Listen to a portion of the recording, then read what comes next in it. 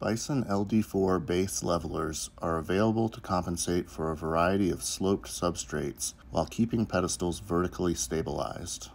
Versadjust pedestals include two base levelers built into the underside of the pedestal base, which can be rotated to accommodate for a range of slope from 0 to 1 half inch per foot, or 4%.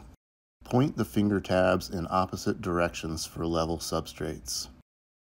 Point all finger tabs downhill for maximum slope compensation. Two additional LD4s can be stacked together to compensate for up to 1 inch per foot or 8% slope.